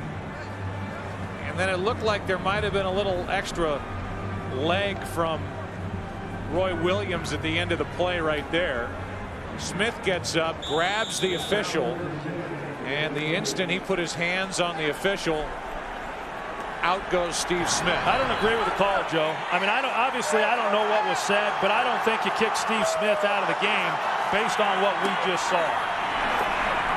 Handoff is to Julius Jones. He is out to the 26, and the officiating tape that we get, they have made it perfectly clear that you do not intentionally go lay your hands on an official, and they just won't put up with it. I can understand why with the game being as violent as it is, being down there with some guy padded up as much as these guys are coming at you. I say throw a flag, but I wouldn't kick a guy like him out of the game. Second down and four. Julius Jones adding to his big day out to the 30.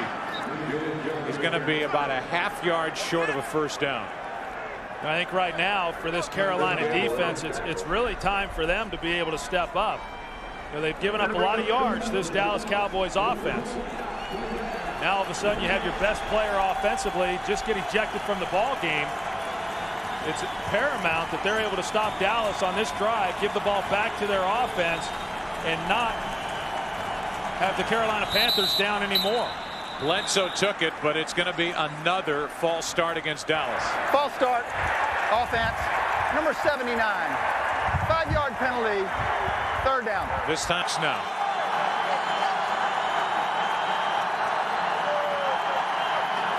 A blitz. Down goes Bledsoe in the arms of Witherspoon. And there is that defensive stand you were talking about from Carolina. You know, I'm going to reevaluate this Will Witherspoon. I, I, said I'm not suggesting that he's a great linebacker.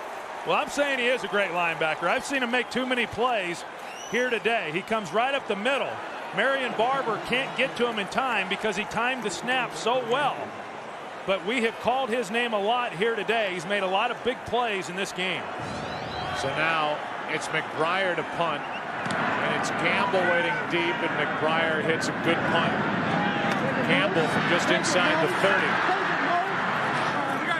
Seconds left in this third quarter. Dallas up by four. Deshaun Foster out to the 41. Picked up three. Let's check in with Pam Oliver. Hey, Joe, I followed Steve Smith down through the tunnel as he went into the locker room after being ejected. He was obviously very heated. He ended up in front of a television set outside of the locker room, and he listened to Troy's comments, and he agreed with every word. He felt he should not be kicked out. He also said he only touched the ref to get his attention. Back to you. So there you go. You have a fan in Steve Smith. Well, if Steve agrees with me, then I'm right, right? Yeah. So Steve Smith gets kicked out of the game for grabbing the official. Second down here for Carolina, and Deshaun Foster is out to midfield with another Panther first down. Newman on the tackle. And that's it for the third quarter. Good game. Dallas that not only the Panthers have, but maybe any team has on offense. Steve Smith has been ejected. It's first down at midfield for Carolina, down by four. Delhomme Going to flip it for Proehl. Good coverage downfield, and Roy Williams picks it off. Interception by Roy Williams. His third of the season. And Williams is slow to get up.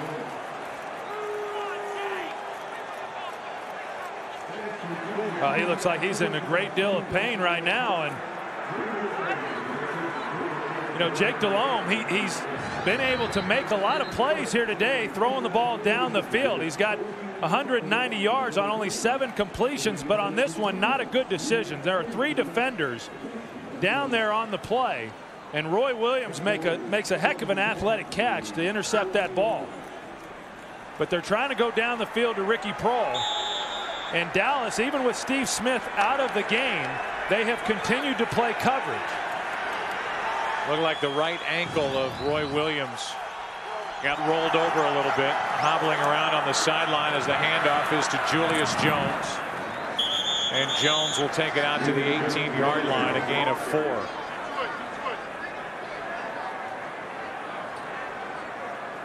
So they look at the, I believe, right ankle of Roy Williams. That's the left ankle. As they check on him on the sidelines, it's second down and six.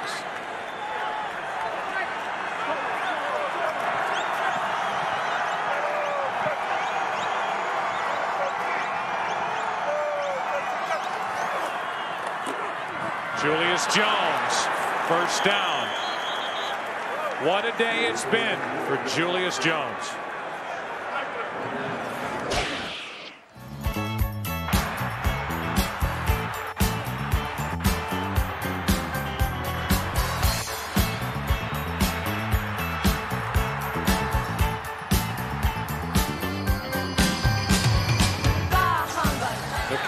And their fans have been waiting for this day since the season began, and Jones up to 174 on the day. Just picked up a first down. Gets it again, making more people miss. Stays on his feet. Another first down. You know, Joe, this is the type of runner that, that Dallas fans had grown accustomed to seeing last year and then early this year. Watch the penetration by Carolina, but Julius Jones is able to make them miss and then still find the hole within that defense and pick up some yardage. I think when you talk about the great backs over the history, they always have the ability to make the first guy in the hole miss them. That's something that we saw last year from Julius Jones, and that's certainly something that we're seeing here today. Now it's Barber getting it and trying out the right side. Peppers on the tackle. Barber got three. Let's go for a game break and check in with JB. Hey, Joe Buck. Patrick Ramsey in for the injured Mark Brunell, a knee injury, questionable return. Hooking up with Santana Moss. That remains a constant. Third touchdown of the day for Santana Moss. Redskins out in front by a 28-20. 2.55 left in the third. Back to Joe, Troy, and Pam. All right, James Brown, 10 and 4. That's the record the Giants bring with them. Redskins trying to end the season by winning their final five games. At 8 and 6. Peppers rips down Bledsoe.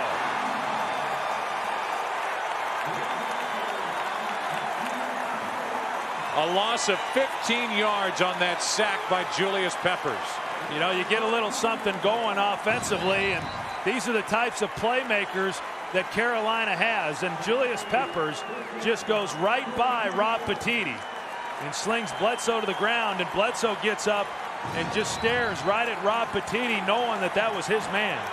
Now, that's a tall order for a rookie, and it doesn't matter that it's his 15th game to start. And you're going up against one of the premier pass rushers in Julius Peppers. That's difficult to block him one-on-one. Again, Bill Parcells, Sean Payton, they stay conservative on third and long. They hand to Barber. Barber gets it up to the 30. And Mat McBriar, the beleaguered punter of the Dallas Cowboys, comes back onto the field. And I think the fact, and we've pointed it out throughout this game on third and long, that the Cowboys as well as the Panthers have decided to be conservative in their play call. And right now, Parcells is saying he doesn't think Carolina, without Steve Smith, can go the distance moving the football against his own defense. McBriar hits it. Pretty good punt. Gamble is waiting for it with Steve Smith out of the game. Gamble.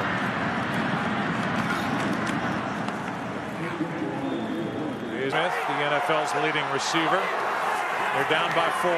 Play action. Setting up a screen. They do so for Foster. And Foster is brought down from behind by Jason Ferguson. Gain of four. You know, we talked about what Carolina was doing, or excuse me, what Dallas was doing defensively while Steve Smith was in the game.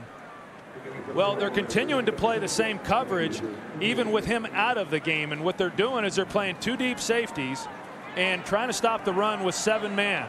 So if you're the Carolina Panthers, you have to be able to run the football against that front. That's the weakness of this defense, running the football against them. You can see the two safeties deep here, and that's the two deep. They put it back up, and the pass is caught by Carter. Carter is brought down at the marker. It depends on the spot as to whether it's a first down or third and inches, and they're going to bring the change out. Meanwhile, Troy, for a team like Dallas, it's had a terrible time trying to stop the run over the past four or five games. They have held Carolina to only 63 yards on the ground. And that's part of the problem right now, or I should say that's part of the dilemma for Carolina in that they know that they should be running the football against this defensive front, but they've been ineffective in doing so. So they're forced to throw the ball into coverage. It's third down and that much. And I don't mean necessarily throw the ball into coverage to where there's double teams and triple teams like what Jake did on the previous possession. But when you've got a defense that's playing too deep coverage, it's very difficult to effectively throw the football and move the ball against that if you're not able to move the football on the ground. Remember, Roy Williams hobbled off after that interception. Roy Williams is not in the defensive lineup for Dallas. Willie Pile, the backup safety, is in there on third down and less than one. They hand the ball off, and it's a first down for Carolina. Foster carries it, picked up two. Under 10 to play and a first down just outside their own 35 for Jake Delhomme. Who, by the way, has his quarterback rating go up this season when the game gets into the fourth quarter. His passer rating up to 93.8 in the final period. That's sixth best in the NFL. Last year, really the year before, he really proved to be a very good fourth quarter quarterback on first down. Handoff is to Foster, and with all that misdirection and trickery, a gain of only one. To go back, Steve Smith has been ejected after picking up a fumble, getting wrestled down by Newman on the sideline. He grabbed the line judge, and that forced the flag in his ejection. And the bottom line is, as a player, you put your hands on the official no matter what your intent is. And this crew is saying you are gone, and I don't blame them. Delhomme fires. Carter drops it. Goes up to get it and could not bring it down. Aaron Glenn on the coverage. Boy, that was a tough one for Drew Carter because the ball's right into his hands. And I know in talking with Jake Delhomme the other day when he was telling me about Drew Carter because he's a guy who hasn't played much. He said he's got exceptional hands. In fact, he's one of those few guys that does a good job of catching the ball away from his body. And you could tell he was trying to get his hands out, trying to make the catch, and it just went right through his hands. But had he been able to make that one, they would have been good for the first down. So without their three-time Pro Bowl strong safety in the lineup, the Cowboys watch Jake Delhomme call timeout on third. Then they win the NFC South for the second time in the last three years. Right now, the Buccaneers losing by three. Delhomme fires off his back foot downfield. There's a lot of contact, but no flag. Glenn down there covering Drew Carter. Yeah, and it's fourth down. Sorry, Joe. A little surprising by Dallas bringing pressure on third and long, giving up one-on-one -on, -one on the outside. Again, Drew Carter, a guy that can run. But he was unable to get by Aaron Glenn. The ball's thrown a little bit to the inside. Aaron Glenn had good position on him. But Carolina certainly had an opportunity for a big play on third and long. The punt from Baker. Crayton calls for a fair catch. For the Dallas Cowboys, they have the football and a four-point lead. It's first time that a team has racked up over 300 total yards against this Carolina defense In the last 10 games as the handoff is to Julius Jones picks up two Rucker on the stop for the Panthers. Second and eight. And Newman, who is in on offense, checks out. We've seen that three weeks in a row now. The Dallas Cowboys offensively using Terrence Newman.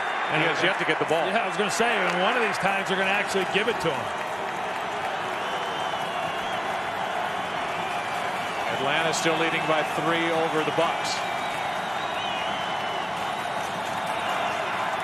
On second down, they roll Bledsoe out, and Keyshawn Johnson can't make a one-handed grab. It's third and eight. You know, I would say this is a fairly important possession for Dallas. I mean, when you're considering the fact that they're up by four, a little over seven minutes left in the game, if they were able to string together a possession here, take time off the clock, certainly if they're able to come away with a touchdown, the way in which this Dallas defense has shut down Carolina offensively is a pretty good sign for them. But they came out, ran the ball, and then don't get the completion on second down. And now once again they're facing third and long. The Bucks have just tied Atlanta 17-17. Bledsoe over the middle to Witten. A penalty flag on the completion. Yeah, they got Torrin Tucker, Joe, on Mike Rucker. I think there are two fouls on this play. They've got a pass interference against Dallas. There are three flags down on the field right now. There are two fouls on the play. Holding, offense, number 77. That penalty's declined. Pass interference, offense, number 82. Half the distance to the goal, third down.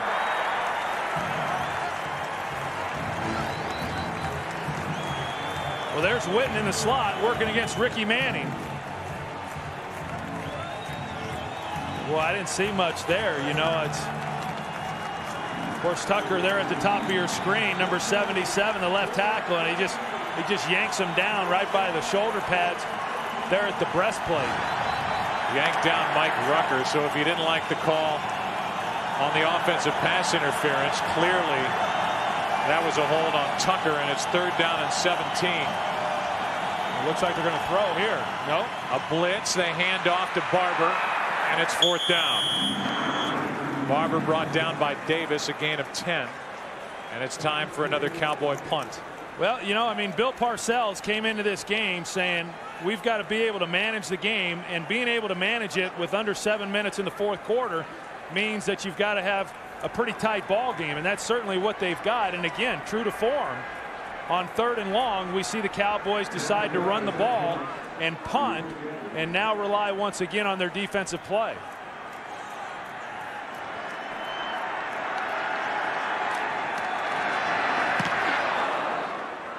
The punt by McBriar. And it will roll to a stop at the Carolina 36. That's where they'll take score in the top right hand corner of your screen. 17-17 Atlanta Tampa Bay here at 17-13 Dallas. Under six minutes to play. Carolina with a football starting at their own 36.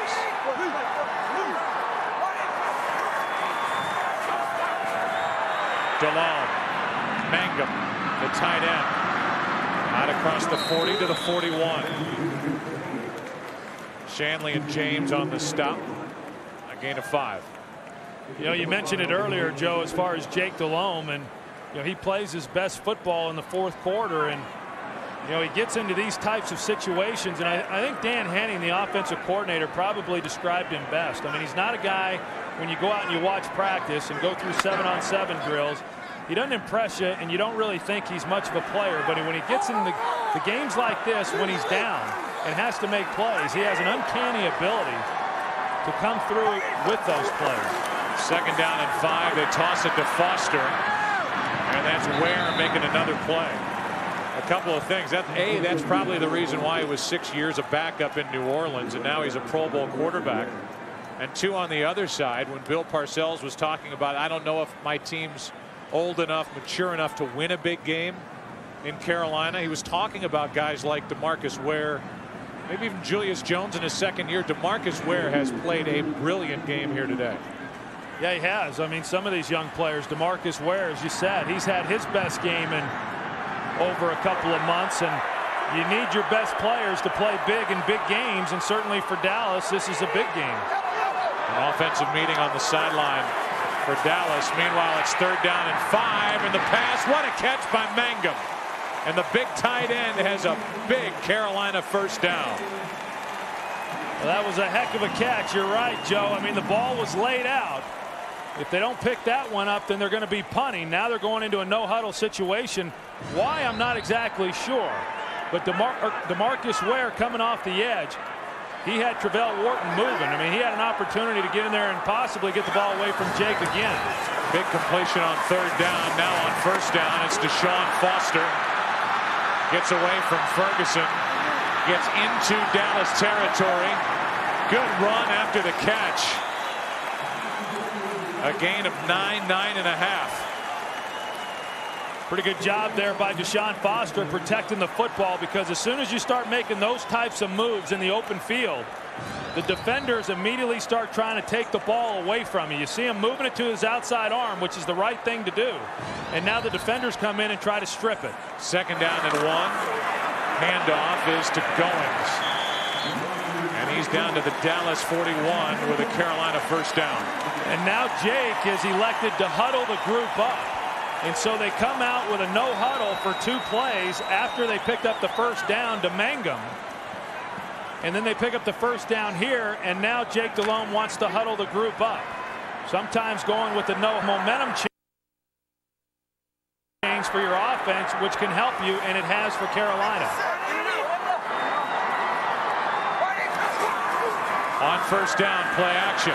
Delhomme fires behind Goings a little, and he's ridden out of bounds by Bradie James. Gain of five. Let's go to JB for a game break. Hey, Joe Buck, as you well know, Washington controls its own postseason hopes indeed with two victories they're in. Take a look at Clinton Portis, 19 of his 85 rushing yards on that touchdown run. Washington expands the lead to 15, 12 29 left in regulation. Back to Joe Buck and Troy Aikman. Thank you, JB. Here it's second down and five for Carolina. Trailing by four.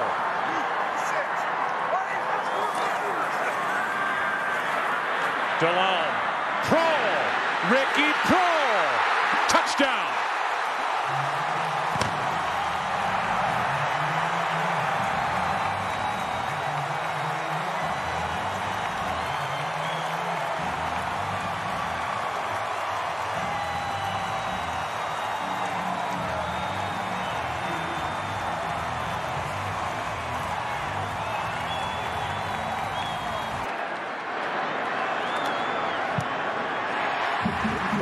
Three.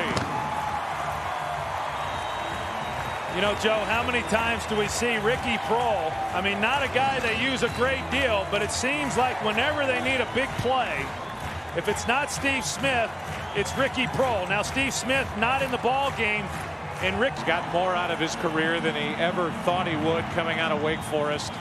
And he's been a first down machine, whether it's been with the Cardinals, with the Bears, with the Rams, with the Panthers and he scored some big touchdowns in his career.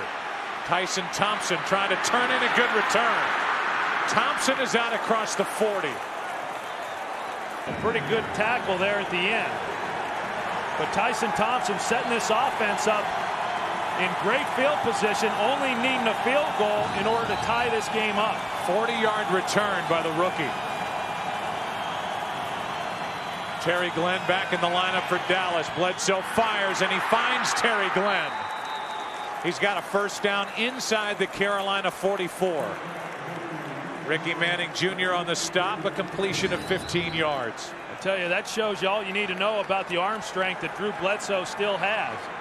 In a sideline route, if that ball's not out there as quickly as what it was, Ricky Manning has the ability to undercut that throw. A perfect throw by Drew Bledsoe to Terry Glenn.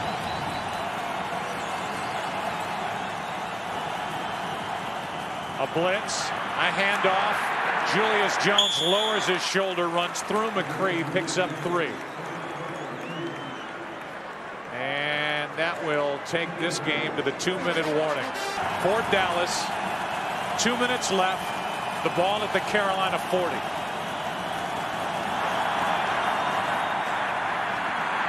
Bledsoe slings it, completes it to Keyshawn Johnson. And he's down to the 21-yard line, well within field goal range for Cundiff. But right now, the Cowboys are thinking about getting it into the end zone in a game they need to win to stay alive in the playoff chase in the NFC. Yeah, and with two timeouts, there's plenty of time on the clock, and Dallas doing the right thing and huddling up, knowing that there's no real urgency, at least as of yet. Hand off, Julius Jones to the 20. Picked up a yard. And now the Dallas Cowboys are going to use their first timeout. Now Cundiff has been no sure bet. He missed from 32, but that came on a tipped field goal attempt right at the end of the first half. Coming into this game, four of six, and he made a career best and franchise record 56 yard field goal against Detroit six weeks ago in his first game back as the kicker for the Cowboys. Now you go back and you take a look at that completion in the middle to Keyshawn Johnson, and it it just surprises me that Carolina defensively, this is a secondary that's very talented all across the board, the corners, the safeties, and yet they're not challenging Keyshawn Johnson. We talked a little bit about it earlier. Keyshawn Johnson's not someone who's really going to run by anybody. So because of that, you're able to crowd him a little bit more than you can say a Terry Glenn, but they've not done it. It would be a 38-yard field goal try from here, but it's second down and nine. Bledsoe pump fakes, throws, corner of the end zone, incomplete. And it was Lucas with better position on the ball than Terry Glenn. Now it's third and nine. On third and long today, the Cowboys have been very conservative And here they are within field goal range, a minute 18 left. We'll see how daring they want to be. Yeah, and I've got to believe that you would throw it here trying to pick up the first down. I mean, we know Billy Cundiff has had some problems. Bill Parcells cannot possibly feel confident that, that Billy Cundiff can make this without any doubt. Normally you would. So I've got to believe they're going to try to pick it up. A blitz. Marion Barber won't get the first down. Tackled by Lucas. And now the field goal unit will come on by in trying to pick up that first down. 33 yard try.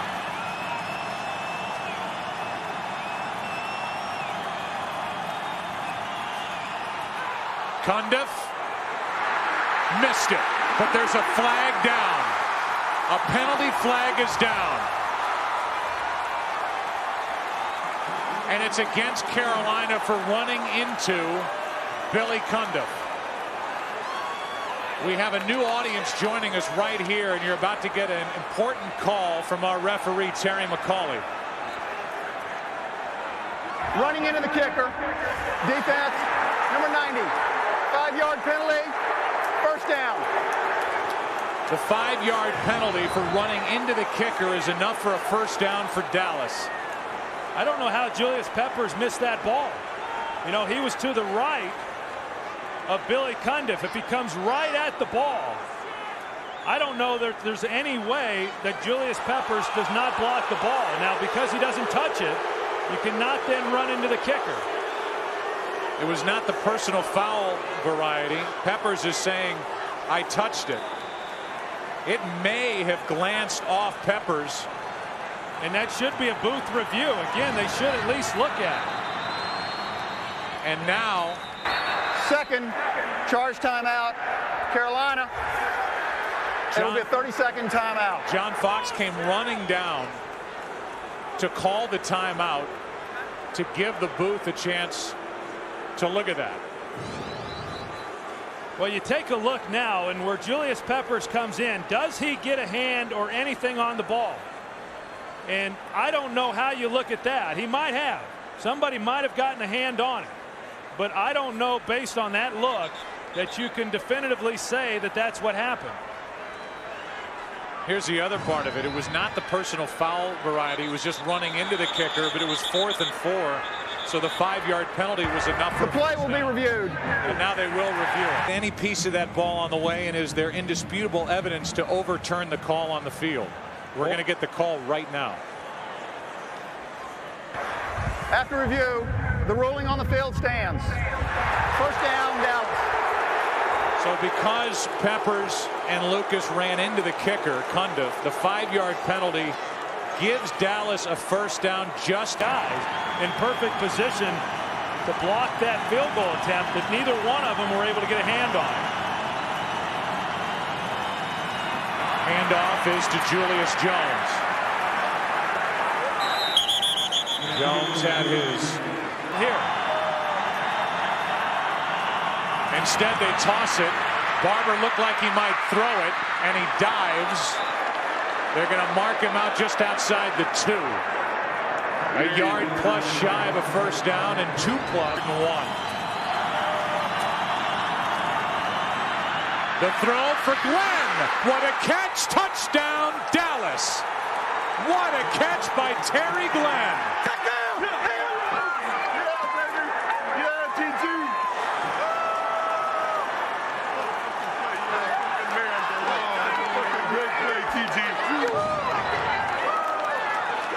Now let's look at this replay. Well, he had it. He moves motions in, which then gives him some room to the sideline and a heck of a job of securing the football.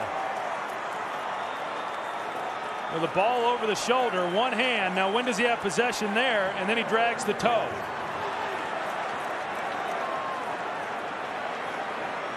And Billy Cundiff, who gets a reprieve. How relieved must he be? And we understand they're now going to review that catch in the booth. I'm with you. It looked like he secured it and then dragged that right foot. Got the toes down before he headed out of bounds. Well, at least they're reviewing it, and John Fox isn't having to call a timeout in order to get them to review it. know, a heck of a job by Terry Glenn.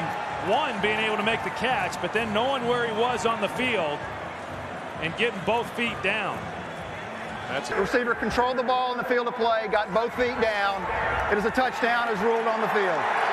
For those of you just joining us, here is the most recent play that they were just looking at. A touchdown completion to Terry Glenn, a brilliant catch, but so much led up to this. We'll bring to you when we get our first chance. That puts Dallas out in front. This from Cundiff. to make it a four-point lead. Arguing a call along the far sideline at the Dallas bench. Meanwhile, Carolina is down to one timeout remaining. They're going to need to get the ball into the end zone. As they will get it back here, and Robertson takes it for the Panthers. Gets it out to the 35-yard line. Well, Jake Delhomme knows what he's got to do. He's got 19 seconds and one timeout, and he's got to go the length of the field and score a touchdown.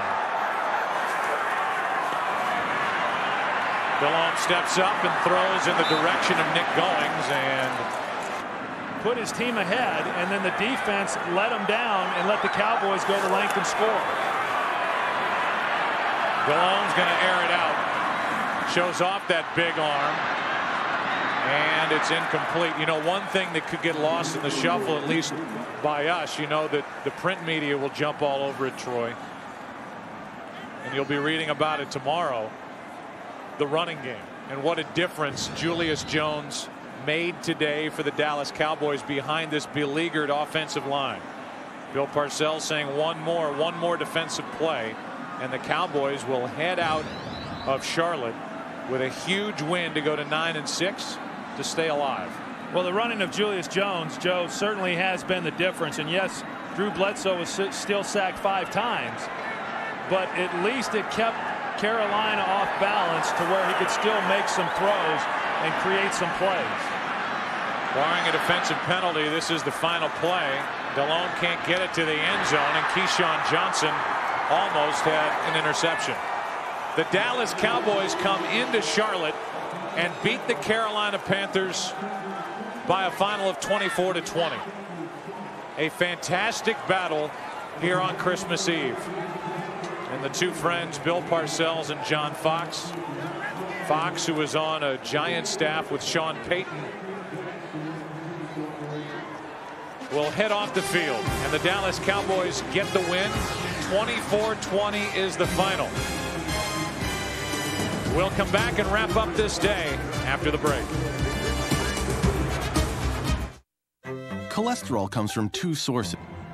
Another look at the deciding touchdown that won it for the Dallas Cowboys. A terrific over-the-shoulder one-handed catch by Terry Glenn. 24-20, the Cowboys win it. Our UPS leaderboard looks like this and highlights Julius Jones, who had his biggest day of the season by a mile, 194 yards, two rushing touchdowns. Terry Glenn with a game winner. So for Troy Aikman and Pam Oliver, Joe Buck, so long from Charlotte. Our producer Richie Zyontz, our director Artie Kempner, our final score 24-20. Dallas wins it. Up next, the post-game show with JB Terry, Howie, and Jimmy.